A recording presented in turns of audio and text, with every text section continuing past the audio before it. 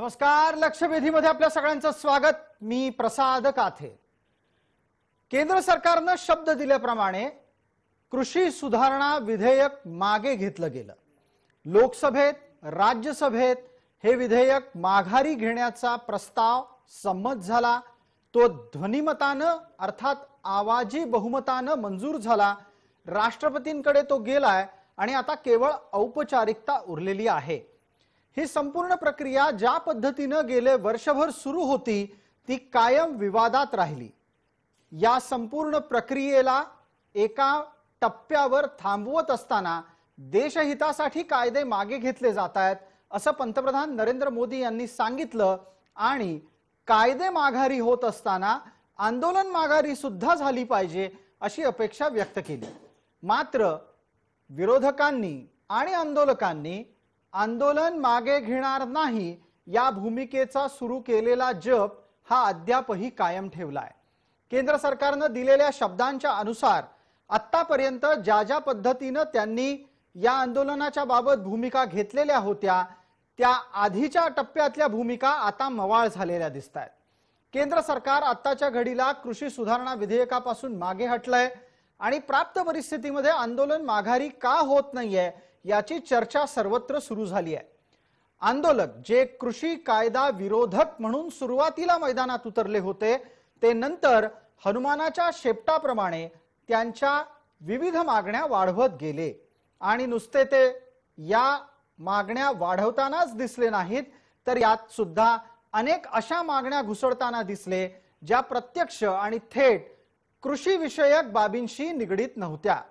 आत्ताच्या घडीला कृषी कायदा विधेयक ज्यांची कालपर्यंतची तशी ओळख होती ते आता हमीभाव मागणारे विरोधक म्हणून स्वतःला प्रस्थापित करू पाहतायत.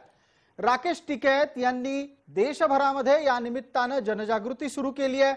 या जनजागृतीच्या आडून आंदोलनाच्या नव्या ध्येय धोरणांच्यासाठी निधी संकलनाचा हेतू सुद्धा लपून राहिलेला नाही. मुंबईतल्या आझाद मैदानात राकेश टिकैत यांच्या माध्यमातून किसान महापंचायत आयोजित केली गेली. या किसान महापंचायतीच्या द्वारे त्यांनी पुन्हा एकदा केंद्र सरकारला इशारा दिला आणि हिंमत असेल तर आम्हाला हुसकवून दाखवा अशा प्रकारची भाषाही वापरली. केंद्र सरकार ज्या वेळेला कृषी धोरणाच्या संदर्भात त्यांची अपेक्षित बदलाची नीती बदलायला तयार आहे त्यावेळेला आंदोलक माघारी का जायला तयार नाहीत? कृषी धोरणांच्या विरोधातलं आंदोलन हे मुळात कृषी धोरणांच्या विरोधातलं आंदोलन आहे का ते फक्त आणि फक्त नरेंद्र मोदींच्या विरोधातलं आंदोलन आहे यावरही देशात चर्चा होतीये. अशा वेळेला कृषी धोरणांचं आंदोलन हे का सुरू राहणार यावर आजची आपली लक्षवेधी चर्चा.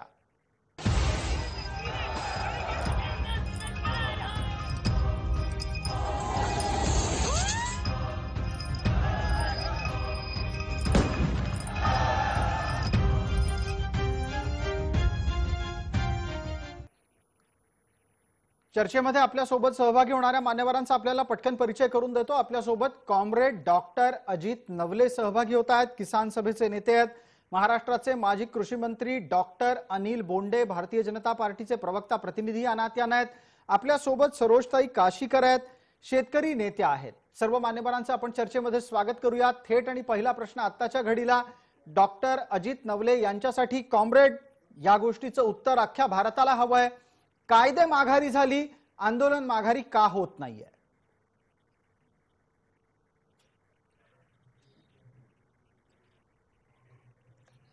अजित नवले आपल्यासाठी प्रश्न होता. आपल्यापर्यंत माझा आवाज पोहोचलाय. नसेल पोहोचला तर एकदा सांगा किंवा फोन करा. हो मला आवाज ऐकायला आले नाही. जी जी. मी प्रश्न आपल्याला असा विचारला सगळ्या देशाला हा पडलेला प्रश्न आहे की कायदे माघारी झाली आंदोलन माघारी का होत नाहीये? सर्वप्रथम संसदेचं खूप खूप अभिनंदन आणि आभार की त्यांनी हे कायदे मागे घेतले. सरकारचं सुद्धा आभार की त्यांनी जो शब्द दिला त्याप्रमाणे आज संसदेमध्ये त्यांनी ती प्रक्रिया पूर्ण करण्याचे पुढचं पाऊल टाकलं. राष्ट्रपतींकडे ते पाठवलंय. आणि मला खात्री आहे की राष्ट्रपती याच्यावर सकारात्मक असा प्रकारचा निर्णय घेतील आणि हे तीन काळे कायदे जे कधीही शेतकऱ्यांना अपेक्षित नव्हते ते मागे घेतले जातील. आपण निवेदन करताना जे दोन गोष्टी मांडल्या त्याबद्दल मात्र मी माझी थोडीशी असहमती व्यक्त करतो. एक म्हणजे निधी संकलनाचा कोणताही डाव किंवा प्रयत्न हा किसान संघर्ष मोर्चाचा नाही. इतके गरीब शेतकरी नाही की इतरांकडून पैसे घेतील आणि त्यातून आंदोलन करतील. आणि त्यामुळे निधीसाठी हे आंदोलन सुरू आहे. असं जर कोणी म्हणत असेल तर मी किमान पॅनलमध्ये असताना मला असं वाटतं की याबद्दलची वस्तुस्थिती मांडणं हे माझं कर्तव्य आहे. अच्छा कॉम्रेड नवले आपण असं सांगताय की निधी संकलनाच्या साठी हे आंदोलन पुढे जिवंत ठेवण्याचा हेतू नाही मात्र तसे तपशील हाती आले. आता काही दिवसांपूर्वी टिकेत जेव्हा मुंबईत आले तेव्हा गुरुद्वारांच्या माध्यमातून आर्थिक संकलन करण्याच्या साठीचा प्रयत्न झाला आणि अशाच प्रकारे देशपातळीवरून नव्या आंदोलनाच्या साठी सुद्धा निधी संकलन होत आहे अशी माहिती समोर येते मी आपल्याला पुन्हा एकदा नम्रपणाने सांगेल की सुरुवातीला ज्यावेळेस आंदोलन सुरू झालं त्यावेळेस तर आमच्यासाठी पाकिस्तानवरून निधी आल्याचे आरोप झाले. नंतर चीनने आंदोलनासाठी पैसे पाठवले असं पण तो आपल्या अनेक मित्रांनी आम्हाला सांगितलं. त्यानंतर कॅनडामधून पण पैसे आल्याचं मला सांगितलं. मला आपल्याला सांगू द्यात की ज्या शेतकऱ्यांचं हे आंदोलन आहे ते गुरुद्वारामधले शे संबंधित लोक असतील भारतीय असतील त्यांच्याच पैशावर हे आंदोलन चालतं. आणि तो अत्यंत घामाचा खणखणीत पैसा असतो. आणि त्यामुळेच त्याच नैतिकतेवर एक वर्षभर हे आंदोलन पुढे गेलं. हे काही नवीन पद्धत नाहीये. माझ्या बरोबर सरोजताई आहे. शरद जोशी साहेबांचं आंदोलन आपण सगळ्यांनी पाहिलेलं आहे. स्वतःच्या गळ्यातले मंगळसूत्र आणि सोनं देऊन त्यावेळी शेतकऱ्यांनी आंदोलन केलेली आपण पाहिलेली आहे. बिलकुल. आम्ही सर्व सभेचे किंवा आता कॉम्रेड कॉम्रेड डॉक्टर अजित नवलेजी आता हे आंदोलन आपण सुरू ठेवताय आणि आता आंदोलनामध्ये हमीभावाचा कायदा करावा. अशी मागणी पुढे ठेवण्यात येते आहे. आणखीन किती मागण्या आहेत आपल्या एकूण? आणि आणखी असंच आंदोलन किती दिवस किती महिने किती वर्ष चालू ठेवायचं आहे बिलकुल. त्यामुळे पहिला मुद्दा निधीचा मुद्दा नाही पैसे जमवण्यासाठी आंदोलन करायचं असतं तर त्या इतर लोकांनी करावं. ज्या तत्वज्ञानावर आधारित असणाऱ्या संघटना आहेत तर त्या खामाच्या दामासाठी लढतात आणि ज्यांचं आंदोलन आहे त्यांच्याच कॉन्ट्रीब्युशन मधून आंदोलन चालवतात नंबर एक. दुसरं आपण मगाशी म्हणा की हुसकावून दाखवा. कसे दाखवतात ते? अशा प्रकारची कोणतीही भाषा ना टिकेतनी केली ना हनन मोलानी केली ना डॉक्टर अशोक ढवळेनी केली आणि आम्ही तर फारच साधी माणसं आहोत आम्ही करण्याचा प्रश्न नाही. त्यामुळे आम्ही कोणालाही अशा प्रकारे हुसकावून दाखवा वगैरेची भाषा करत नाही. लोकशाही मार्गानं शांततेच्या मार्गानं सातशे शेतकऱ्यांचा बळी गेला तरी एक वर्षभर आमच्याकडून कोणतीही हिंसा झाली नाही. कोणाला आम्ही हिंसा करण्यासाठी उद्युक्त केले. अजितराव त्यामुळे ही अजितराव व्यासपीठावरून वापरलेली भाषा ही एक होती. खाली माध्यमांशी बोलत असताना दिले गेलेले बाईट आणि त्यातला गर्भित इशारा हा वेगळा होता. मला आपल्याला चौथ्यांदा हे विचारावंसं वाटतंय की कायदे माघारी गेले आंदोलन माघारी का होत नाहीये? मी सांगतो माफ करा मी सबंध दिवसभर काल स्टेजवर होतो आणि प्रसार माध्यमांच्या बरोबर पण होतो. हुसकावून द्या मग दाखवतो अशी भाषा आम्ही केली नाही नंबर दोन. तिसरा मुद्दा आपल्या सगळ्यांना तुमचा सत्सत विवेक बरोबर आहे जागा आहे माझाही सत्सत विवेक जागा आहे. मी पाठवलेल्या आपल्या सगळ्या संयुक्त किसान मोर्चाच्या पहिल्यापासूनच्या प्रेस नोट मी तुम्हाला फॉरवर्ड केलेल्या आहेत. आम्ही आधार भावाची मागणी काही काल केलेली नाही. तुम्ही साक्षीदार आहात मी साक्षीदार आहे. फ्रॉम द फर्स्ट डे आम्ही ही मागणी करत आलेलो आहे की शेतीच्या संकटातून शेतकऱ्यांना बाहेर काढायचं असेल तर मिनिमम सपोर्ट प्राइस किमान आधार भावाचं संरक्षण हे शेतकऱ्यांना दिलं पाहिजे. हे आंदोलनाच्या पहिल्या दिवसापासून आम्ही मागत आलेलो आहे. नवीन हा शोध लावलेला नाही. डॉक्युमेंट्स उपलब्ध आहे. किंबहुना केंद्र सरकारने आम्हाला दिलेलं जे पत्र आहे ज्याच्यामध्ये अनेक बाबींवर चर्चा झाल्याचं त्यांनी सांगितलं. त्यात सुद्धा नंबर दोन ची मागणी केंद्र सरकारच्या लिखित उत्तरामध्ये नंबर दोन ची मागणी जी आठ महिन्यापूर्वी आम्हाला केंद्र सरकारने दिलं त्यातही दोन नंबरची मागणी एमएसपी ची आहे. ठीक आहे. आपण आपण एमएसपीच्या मुद्द्यावर काही आता कुठल्याही प्रकारे चर्चेत हा मुद्दा घेतोय असातला भाग नाही. एमएसपीचा मुद्दा हा या देशात अनेक वर्षांपासून चालू आहे. तुम्ही तुमच्या मागण्यांमध्ये सुद्धा त्याला दुसरं स्थान दिलेलं आहे. पण मुळात हे सगळं आंदोलन जन्माला आलं ते कृषी कायद्यांच्या साठी आलं कृषी कायद्यांच्या माघारी साठी आलं. कृषी कायद्यांची माघारी झाल्यानंतर आता ते एक एक एक एक आंदोलन एक एक पुढच्या टप्प्यावर सरकताना दिसत आहे सरोजताई काशीकरांना चर्चेमध्ये सहभागी करून घेऊया कॉम्रेड डॉक्टर अजित नवले यानंतरच्या पुढच्या प्रश्नांसाठी आपल्यापर्यंत पोहोचेनच आपल्यासोबत असलेले डॉक्टर अनिल बोंडे सुद्धा बोलतील. सरोजताई आंदोलन मुळात हे आता कृषी कायद्यांपुरतं मर्यादित राहिलेलं नाही असं दाखवत ते प्रत्येक टप्प्यावरच्या प्रत्येक मागणीला मंजूर केल्याशिवाय मागे हटणार नाही असं सांगितलं जात आहे ही पद्धत योग्य आहे का? आत्ताच्या घडीला कृषी कायद्यांच्या विरोधात सुरू झालेल्या आंदोलनातल्या इतर सगळ्या मागण्या मान्य केल्याशिवाय आंदोलन मागे हटणार नाही. ही भूमिका कशा स्वरूपात नोंदवता येईल?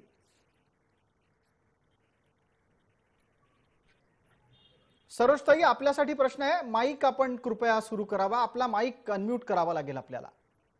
आपण आपली भूमिका मांडण्यापूर्वी प्रत्येकालाच ही विनंती आहे थोड्या वेळाने डॉक्टर बोंडेंनाही जेव्हा प्रश्न विचारला जाईल तेव्हा उत्तर सुरू करण्यापूर्वी आपला माईक सुरू असावा. सरोजताई आपण बोलू शकता. हे आंदोलन आता केवळ आंदोलनासाठी की आंदोलनाशिवाय आम्ही जगूच शकत नाही असं झालेलं आहे. आंदोलनकर्त्यांचा हा खर तर आजपर्यंतचे जे जे आंदोलन झाले सरकारने मागण्या मान्य केल्यानंतर ती आंदोलनं ताबडतोब परत घेण्यात आलेली होती. हा माझा आज चाळीस वर्षाचा आंदोलनाचा अनुभव आहे. पण ह्या आंदोलनात रोज एक नवीन मागणी आणि सरकारने मान्य केल्यानंतर सुद्धा ती अमान्यच केलेली आहे या पद्धतीने दाखवणं हे चुकीचं आहे. आणि शेतकऱ्यांच्या जीवावर हे आंदोलन आता फार काळ यांनी चालवू नये नाहीतर जसं दत्ता सामंतचं झालं की सर्व गिरणी कामगार देशोधडीला लागले त्यासारखे शेतकरी सुद्धा देशोधडीला लावण्याचा प्रकार टिकेटजी करत आहे एकोणनव्वद साली टिकेटच्या वडिलांनी शेतकरी आंदोलन असंच मागे केरटलं होतं आणि आज त्यांचा मुलगा सुद्धा तेच करत आहे. आणि हे आंदोलन हे जे तीन काळे कायदे म्हणतात खऱ्या अर्थाने त्या आंदोलन काळे ते कायदे परत घेणं म्हणजे शेतकऱ्यांच्या आयुष्यातला काळा दिवस हा होता असं मी आज ठणकावून सांगते. ते तिन्ही कायदे शेती आणि शेतकरी या तिघांच्याही दृष्टीने अजितजी नवले यांचा संपूर्ण हे ठेवून मी सांगते. हे कायदे एवढे वाईट नव्हते याचा पुन्हा एकदा तुम्ही शेतकरी म्हणून जर अभ्यास केला तर तुमच्या लक्षात येईल की या कायद्याच्या माध्यमातून शेतकऱ्यांचा चांगला दिवस निघणार असता शेतीला नवीन प्रकाश मिळाला असता.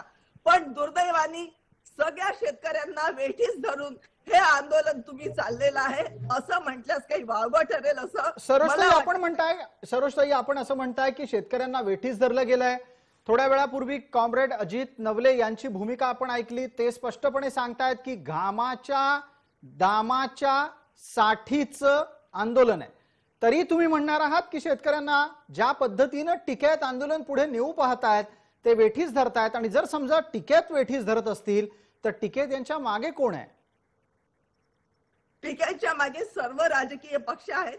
टिकेतचे दोन अश्रू पाडणे आणि आपल्या खाप पंचायतीचे लोक आणणे हा यांचा जुना काळा इतिहास आहे.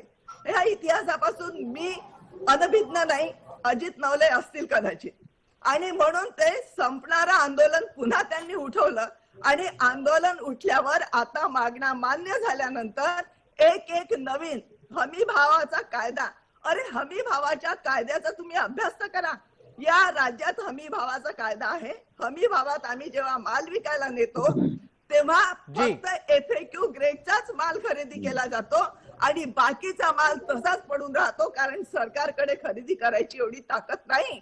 एवढ्या सर्व शेतमालाला हमी भाव देऊन सरकारने जर खरेदी केली तर हा देशच रसातळाला जाईल. आणि रसातळाला गेलेल्या देशाची आर्थिक व्यवस्था कशी सुधारेल हा प्रश्न आणि हा अभ्यास या सर्व आंदोलक मंडळींनी करण्याची आवश्यकता आहे असं मला वाटते या या या मुद्द्यावर डॉक्टर बोंडेंना बोलतं करायचं आहे त्याच्यानंतर आपल्यासोबत असलेले कॉम्रेड डॉक्टर अजित नवलेही बोलणार आहेत. आधी डॉक्टर अनिल बोंडे यांच्यासाठीचा प्रश्न हमी भावाची लढाई ही प्रॅक्टिकल आहे का? व्यवहार्य आहे का? सगळ्याच कृषी मालाला हमीभाव दिला जाऊ शकतो का? आणि जर दिला जाऊ शकत असेल तर गुणवत्तेची जबाबदारी कुणी घ्यायची? तेवीस वस्तूंना हमीभाव हा सरकारने जाहीर केला आहे आणि हे स्टॅच्युटरी आहे की तेवीस वस्तूला अगोदरपासून हमीभाव होता. म्हणजे किमान आधारभूत किंमत आताही आहे आणि पुढेही राहणार आहे. आणि तो हमीभाव मार्केट इंटरव्हेन्शनसाठी आहे. म्हणजे जर बाजारभाव कमी असले तर शासनानं ही खरेदी करावी. परंतु हमीभाव जेव्हा आपण मागतो तेव्हा F quality fair and average quality ही सुद्धा शेतकऱ्याला द्यावी लागते. आता अॅग्रोवनमध्ये अग्रलेख आला लोकसत्तामध्ये अग्रलेख आला गिरीश कुबेरांनी लिहिलं. आता एफ चा समजा हमी भावाचा कायदा केला ती व्यापाऱ्यांनी सुद्धा हमी भावानी खरेदी करावी. तर व्यापाऱ्या व्यापारी व्यापारी एफ च्या नावाखाली तो माल रिजेक्ट करू शकतो. म्हणजे तो घेणार नाही. सरकारी एफ च्या नावाखाली जर तो घेतला नाही तर तो उर्वरित माल शेतकऱ्यांनी करायचं काय? म्हणजे व्यापार व्यापाऱ्यांना सुद्धा कारण की हा प्रयत्न केला गेलेला आहे. देवेंद्र फडणवीसाच्या काळामध्ये तुरीच्यासाठी हमी भावानी खरेदी करण्यात यावी. नाहीतर व्यापाऱ्यांवर फौजदारी गुन्हे दाखल करू. असं जेव्हा म्हटलं गेलं तेव्हा. विधानसभेमध्ये राष्ट्रवादी आणि काँग्रेसच्या आमदारांनी रणकंदन केलं होतं. आणि ही ही व्यापाऱ्यांवर सक्ती लादू नये असं त्यांनी म्हटलं होतं. मग आताच्या घडीला मग आताच्या घडीला जे केंद्रातलं हमीभावाचं आंदोलन होऊ पाहतं आहे त्या आंदोलनाचं भविष्य काय? आणि मुळात ते आंदोलन चालवण्याच्या मागचा हेतू काय आहे? डॉक्टर बोंडे. आणि त्यासाठीच पंतप्रधान नरेंद्रजी मोदींनी जेव्हा तीन कायदे पाठिंबा घेतले तेव्हा कृषी तज्ज्ञ शेतकरी यांची समिती बनवली. की या समितीच्या माध्यमातून हमीभावाच्या कायद्याच्या कायद्या संदर्भात हमीभाव देण्याच्या संदर्भात उत्पादन खर्च कमी करण्याच्या संदर्भात त्या सूचना त्या समितीच्या मार्फत देण्यात याव्या. आणि खरोखर हा असा विषय आहे की म्हणजे हमीभाव दिल्याने खरोखर शेतकऱ्याचं संरक्षण होईल का? की शेतकऱ्याला मधातच अं, टांगत राहावं लागेल हे सुद्धा विचार करण्यासारखं आहे. हमीभाव हा निश्चितपणे मिळा मिळाला पाहिजे. किमान आधारभूत किंमत असली पाहिजे. म्हणजे ती स्टँडर्डायझेशन राहील की कमीत कमी त्याच्यापेक्षा त्याच्यापेक्षा कमी भावानी सरकारने तरी खरेदी करू नये. म्हणजे एफ क्वालिटीचा हा नियम निश्चितपणे राहील. पण पेरिशेबल आयटमसाठी हमीभाव देता येईल का? हा सुद्धा विचार करणं आणि चर्चा करून त्याच्यावर निश्चिती करणं अतिशय doctor Bonde doctor doctor Bonde मी आपल्याला मध्येही एक प्रश्न विचारला होता कदाचित माझा आवाज आपल्यापर्यंत पोहोचला नाही. आता माझा आवाज पोहोचतोय आपल्यापर्यंत मला एक पुढचा प्रश्न आपल्याला विचारायचा आहे. पोचतोय जी.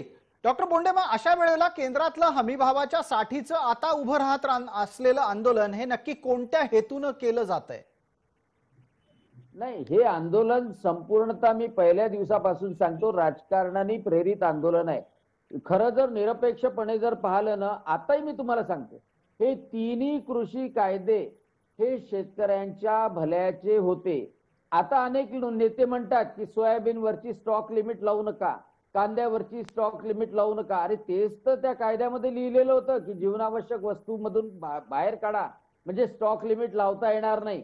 आता म्हणतात की बा गहू गहू खराब होतो तांदूळ खराब होतो.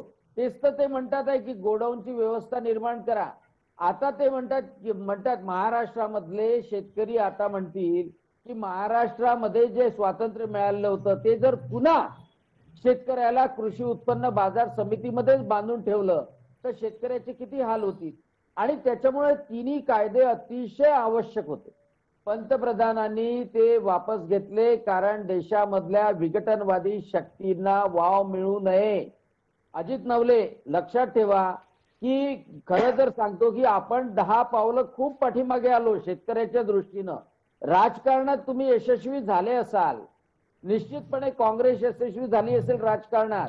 राजकारणाच्या पायी शेतकऱ्याचा जीव घेतला गेला एवढं एवढं निश्चित सांगतो. कायदे कॉम्रेड पाठीमागे- नवलेंकडून याचं उत्तर येईल लगेचच. कॉम्रेड नवले आपलं उत्तर. सरोजताई मगाशी म्हटलं आम्ही अभ्यास करण्याची गरज आहे. परंतु याच्यावर सगळ्यात जास्त अभ्यास माननीय पंतप्रधान नरेंद्र मोदी साहेबांनी दोन हजार अकरा मध्ये केलेला आहे. नरेंद्र मोदी साहेब त्यावेळी गुजरातचे मुख्यमंत्री होते. त्यांच्या अध्यक्षतेखाली देश स्तरावर शेतकऱ्यांना एमएसपी देता येईल का याच्याबद्दलची कमिटी नेमलेली होती. आणि या कमिटीनं खूप अभ्यास करून सरोजताई अहवाल सादर केला आणि माननीय पंतप्रधान त्यावेळेचे मुख्यमंत्री आणि आताचे पंतप्रधान नरेंद्र मोदी साहेबांच्या कमिटीनं सांगितलं की शेतकऱ्याला एमएसपी देणारा कायदा केला पाहिजे. आता मान्य पंतप्रधानांपेक्षा दुसरा कोण जास्त अभ्यास करणार? त्यामुळे आता परत अभ्यास करण्याची आवश्यकता नाही राहत. दुसरा मुद्दा ते म्हणाले की कमिटी केली आहे ऑलरेडी माननीय पंतप्रधान मुख्यमंत्री असताना ही कमिटी केली त्यांनी खूप अभ्यास केला आणि त्या कमिटीनं अहवाल दिलेला आहे की एमएसपीचा कायदा झाला पाहिजे. मग आता परत अभ्यास करायची परत कमिटी कॉम्रेड कॉम्रेड नवले आपला आवाज गेला. डॉक्टर आपला बोलता बोलता आवाज जातोय. मध्येच आपलं इंटरनेटचं कनेक्शन खराब असल्याचं कदाचित वाटतंय. पण एक प्रश्न थोड्या वेळापूर्वी डॉक्टर अनिल बोंडेंनी उपस्थित केला. त्यावरही आपण बोला. सरोष्णांच्या प्रश्नांना आपण उत्तरं दिलेली आहेत. डॉक्टर नवले आपल्यासाठीचा हा डॉक्टर अनिल बोंडेंचा हा मुद्दा होता की हे आंदोलन विघटनवादी शक्तींच्या हातात गेलेलं आहे. ते त्याच पद्धतीनं चालू राहिलं तर अधिक धोका संभवतो म्हणून कायदे मागे घेतलेत. असावेत या असावेत. असा एक शब्द जोडला होता सर्वात. जास्त बलिदान ज्या समुदायाने दिलं या देशाच्या स्वातंत्र्यासाठी सर्वात जास्त बलिदान ज्या समुदायाने दिलं आणि या देशाच्या अनेक जी दोन प्रमुख युद्ध झाली पाकिस्तान आणि चीन बरोबर त्याच्यामध्ये सर्वात जास्त परमवीर चक्र आणि वीर चक्र ज्या समुदायाला मिळाले ते विघटनवादी आहेत असा सातत्याचा प्रचार करणं हे मला असं वाटतं की देश सेवेशी आणि देशभक्तीशी मोठी प्रतारणा आहे. हे आंदोलन देशभक्त शेतकऱ्यांचं आहे माती कसणाऱ्या शेतकऱ्यांचं आहे अन्नदात्यांचं आहे आणि तुम्हा इतकंच प्रेम आमचं सुद्धा या देशावर आहे. त्यामुळे खात्री बाळगा आमच्या छातीच्या चिदड्या उरतील परंतु देशभक्तीवर आणि देशावर आज येणार नाही. याच्यावर एक याच्यावर एक निरीक्षणात्मक उत्तर लागेल मग. डॉक्टर अनिल बोंडे आपण हा कुठून शोध लावलाय की विघटनवादी शक्तींच्या हातात हे आंदोलन गेलेलं आहे आणि ते रोखलं गेलं पाहिजे? निश्चितपणे राजकारणासाठी आहे. काही विघटनवादी शक्ती निश्चितपणे त्यामध्ये आहेत. आणि त्यामुळं म्हणजे देशाचं नुकसान होऊ नये. वेळ पडली तर शेतकऱ्यांचे कायदे जे खरोखर म्हणजे मनापासून सांगतो शेतकऱ्यांना शरद जोशींना जे अभिप्रेत होतं ते स्वातंत्र्य पहिल्यांदा मिळण्याचं स्वप्न दिसत होतं. शेतकऱ्यांना स्वतःचा अधिकार निर्माण झाला होता की आपण करार करू शकतो. आपण कुठेही माल विकू शकतो. एमएसपीचं प्रोटेक्शन म्हणजे मार्केट इंटरव्हेन्शन करण्याचं पंतप्रधान नरेंद्र मोदींनी वारंवार सांगितलेलं होतं. परंतु या कायद्यामध्ये वाईट काय आहे हे कधीही विरोधकांनी सांगितलं नाही. कधी विरोधकांनी सांगितलं नाही. उलट फक्त अफवा उडवल्या की अदानी अंबानीसाठी केले अदानीनी गोडाऊन केले. या अफवांच्या भरोशावर त्यांनी संपूर्ण जनमानस त्या भागामध्ये बदलवण्याचा प्रयत्न केला. पण आत्ताच्या घडीला पण आत्ताच्या घडीला सरोजताई काशीकरांनाही हे विचारावं लागेल. डॉक्टर बोंडे आपल्या नंतरचा पुढचा प्रश्न माझा सरोजताई काशीकर यांच्यासाठी आहे. निवडणुका डोळ्यासमोर ठेवून निर्णय बदलले गेलेत हाही आक्षेप नोंदवला जातोय. सरोजताई अशा प्रकारे निवडणुकांच्या साठी कृषी धोरणं कृषी धोरणांमधल्या सुधारणा या जर हेलकावे खाणार असतील तर शेतकऱ्यांच्या हिताच्या संदर्भातले निर्णय हे तितकेच तकलादू आहेत असं म्हटलं तर? हे निर्णय तकलादूतही पण राजकारणापेक्षा हे निर्णय मला असं वाटते कमकुवत ठरले. कारण दुर्दैवाने शेतकरी समाज हा स्वतःच्या. अर्थव्यवस्थेसाठी मतदान करत आलेला नाहीये. गठ्ठा मत शेतकऱ्यांचे मिळतात. हा जर आत्मविश्वास एखाद्या पक्षाला असता तर याप्रमाणे शेतकरी धोरण शेतकऱ्याच्या बाजूनी या सत्तर वर्षात राबवलं गेलेलं असतं. पण शेतकऱ्यांना केवळ गृहित धरूनच हे धोरण राबवले जातात आहे. आणि आताच जे कायदे मागे घेतले ते कायदे केवळ राजकारणासाठी मागे घेतले.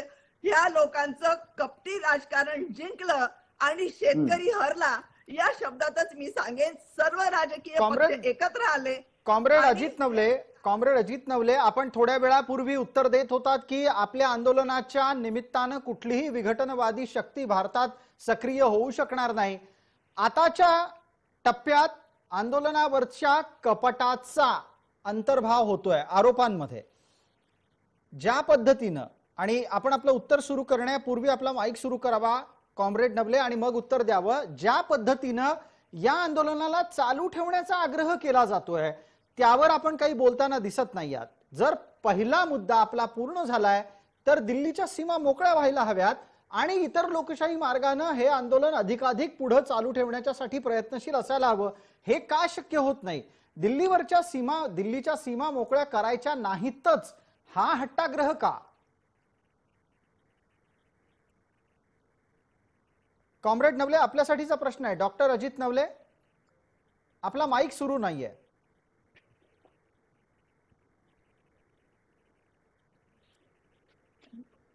बोला. डॉक्टर नवले प्रश्न आपल्यापर्यंत पोहोचला असेल आपल्याला ऐकायला आला असेल तर आपण आपलं म्हणणं मांडा. काही तांत्रिक अडचणी अजूनही दिसत आहेत कॉम्रेड अजित नवले यांचा मगाशी काही वेळापूर्वी संपर्क तुटला होता त्यामुळे परत जोडले गेलेले असताना त्यांचा संपर्क पुनर्प्रस्थापित व्हायला वेळ लागतोय. एक पुढचा प्रश्न मी पटकन डॉक्टर बोंडे यांच्यासाठी घेतो आणि थोड्या वेळाने आपण परत एकदा अजित नवलेंना बोलतं करूया. डॉक्टर अनिल बोंडे जर असंच आंदोलन चालू राहणार असेल तर दोन हजार चोवीस पर्यंतची स्थिती काय असेल आणि केंद्र सरकारला त्याची कल्पना आलेली आहे का? नाही निश्चितपणे कल्पना आलेली आहे. आणि आल- आलेली असल्यामुळंच हे तीन कायदे वापस घेतले. कारण की देशाच्या समोर दुसरा कोणताही उपाय न- उपाय नसल्यामुळे पंतप्रधानांनी दुःखी मनाने म्हणजे त्यांनी सांगितले मी देशाची माफी मागतो. तर हे कायदे वापस घेतले. आता माझा अजित नवलेंना आणि तुमच्या माध्यमातून सर्व लोकांना प्रश्न आहे की आपल्या महाराष्ट्रामध्ये दोन हजार सहा पासून शेतीच्या कराराचा कायदा आहे. त्याचप्रमाणे आपण फळभाज्या पालेभाज्या नियमनमुक्त केलेल्या आहे आणि तृणधान्य कडधान्य नियमनमुक्त केलेलं आहे कृषी उत्पन्न बाजार समितीच्या आवारात विकलं नाही म्हणजे त्याच्या एरियात विकलं तर आपल्याला सेस द्यावा लागत नाही. म्हणजे शेतकऱ्यांना ते स्वातंत्र्य महाराष्ट्रात मिळालंय. आता तीन कायदे केंद्राने वापस घेतले. महाराष्ट्रात अगोदरच लागू होते. मग आता पुन्हा कृषी उत्पन्न बाजार समितीच्या कचाट्यात शेतकऱ्याला महाराष्ट्र सरकार टाकणार आहे का? कृषी उत्पन्न बाजार समितीचे टोल पुन्हा लावणार आहे का? हे मला आपल्या माध्यमातून सरकारला विचारायचं आहे अजित. नवलेनी सुद्धा याचं उत्तर द्यावं. या या या संपूर्ण प्रश्नांवर खरं तर सरकारच्या प्रतिनिधींच्याकडून उत्तर अपेक्षित आहे. आत्ताच्या घडीला अजित नवले हे राज्य सरकारच्या बाबत सह संवेदनशील आहेत. त्यामुळे त्यांच्याकडे जर उत्तर असेल तर त्यांनी द्यावं आणि थोड्या वेळापूर्वी विचारलेल्या प्रश्नालाही नंतर उत्तर द्यायची संधी आपण देऊयात. अजितराव आता आपण जोडले गेलेले आहात. आपला आवाज आमच्यापर्यंत अपेक्षित आहे. नाही आपण कदाचित आपल्या फोनचा एअरप्लेन मोड काढावा. आपलं म्हणणं कोणाचपर्यंत पोहोचत नाहीये. त्या पद्धतीची सुधारणा जर आपली झाली तर आपलं म्हणणंही आम्हाला ऐकायला येऊ शकेल.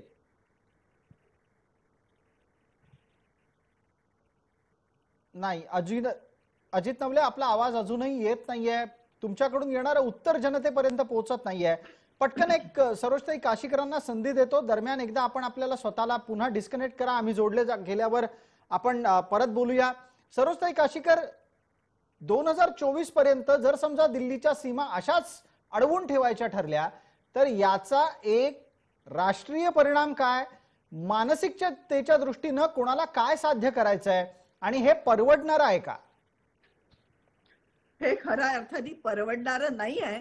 आणि दिल्लीच्या सीमा जर मोकळ्या झाल्या नाही तर याच्यानंतर कुठल्याही शेतकरी आंदोलनाबद्दल लोकांच्या मनात थोडीशी सुद्धा कणव राहणार नाही. शेतकऱ्यांना बदनाम करण्याचा आता कारस्थान सुरू आहे. शेतकरी जेव्हा जेव्हा आपल्या मागण्यांसाठी रस्त्यावर येतील तेव्हा तेव्हा लोक त्यांच्याकडे शंकेच्या नजरेने पाहतील की शेतकरी सुद्धा या राजकारण्यांच्या हाताचे बाहुले बनलेले आहे का? दुर्दैवानी आता या सर्व राजकारणी मंडळींनी शेतकऱ्यांना आपल्या राजकारणाच्या हातातले बाहुले बनवलेले आहे आणि त्यांना त्यांना जे हवं आहे शेतकऱ्यांपर्यंत जे पाहिजे आहे ते त्यांच्यापर्यंत त्यांना पोहोचू देत नाही त्यांना ते मिळू देत नाही. आणि आता दोन हजार चोवीसपर्यंत जर असेच अडवणूक करत गेले तर मला असं वाटतं जनसामान्याचा सुद्धा या सर्व पक्षांच्या बाबतीत भ्रमनिराश होणार आहे. उलट. आम्ही असे लोक आहोत की आम्हाला तुल्यबळ विरोधी पक्ष आणि जो सत्ताधारी पक्ष आहे यांचं तुल्यबळ असावं नेतृत्व पण दुर्दैवाने ते पुन्हा तुल्यबळ नेतृत्व मिळेल की नाही ही शंका येते आणि ज्या उद्देशाने हे आंदोलन आतापर्यंत हे रेटण्याचा प्रयत्न करतात आहे. ठीक आहे. तातडीने हे आंदोलन जर मागे घेतलं नाही या सर्व पक्षांच्या बद्दल जनमानसात आकाश आणि आक्रोश तयार होईल असं मला वाटते. ठीक आहे. आपण चर्चेमध्ये आता पुन्हा एकदा अजित नवलेंना विनंती करूयात की त्यांनी त्यांचा संपर्काचा संपूर्ण प्रयत्न करून झाला असेल तर आपला आवाज एकदा ऐकवावा. आतापर्यंत दोनदा तीनदा आपण जोडण्याचा प्रयत्न केला. अजितराव माझा प्रश्न ऐकायला येत असेल तर आपण कृपया सांगावं तसं. हो हो. आता आता आपला आवाज. माझा आला. येतो आहे आवाज. जी बिलकुल आता आपला आवाज आला. येतोय ना? चर्चेच्या अत्यंत शेवटच्या टप्प्यामध्ये आपण आहोत. दोन महत्त्वाचे मुद्दे आहेत. पहिला मुद्दा असा की दोन हजार चोवीसपर्यंत हे आंदोलन चालू राहणं योग्य नाही. अर्ज ज्या पद्धतीनं आंदोलन माघारीची वेळ कुठली असं कोणी विचारलं तर हीच ती वेळ असं सांगितलं जात आहे. या चर्चेतल्या मान्यवरांच्याकडून दुसरा महत्त्वाचा मुद्दा याच्यातला असा आहे की जर असंच आंदोलन चालू ठेवणार असाल तर जनतेचं आपल्याला मिळणारं समर्थनही दिवसागणिक कमी होऊ शकतं.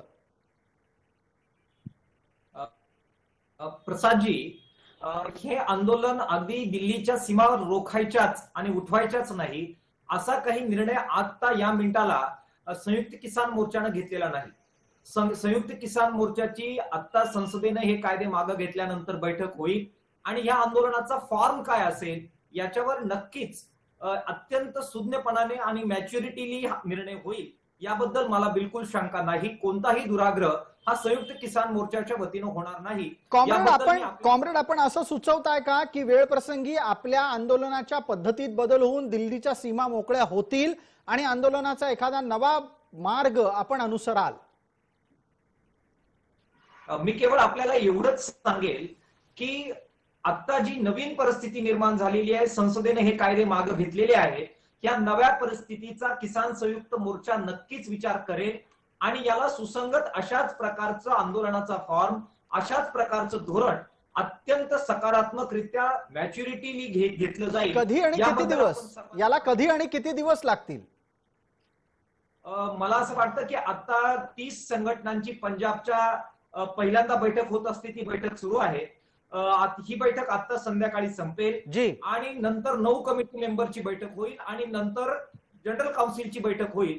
आणि त्यामध्ये सगळा आढावा घेऊन हे आंदोलन पुढे कसं न्यायचं याच्याबद्दल अत्यंत सकारात्मक अशा प्रकारचा निर्णय घेतला जाईल. ठीक आहे. आपण अशी अपेक्षा. बाळगूयात. वेळ मर्यादा आहे. अजितराव आतापर्यंत आपण आपल्यापर्यंत पोहोचण्याचा प्रयत्न आम्ही बऱ्याचदा केला. त्यात काहीसा वेळ गेल्यामुळे आता आपल्याला थांबावं लागतंय. मात्र आपण सकारात्मक सकारात्मकरित्या या चर्चेच्या शेवटच्या टप्प्यात सांगता आहात की आंदोलनाचं स्वरूप बदलू शकतं. अर्थात हे आपलं म्हणणं आहे निर्णय येईपर्यंत ते पूर्णतः खरं म्हणता येणार नाही.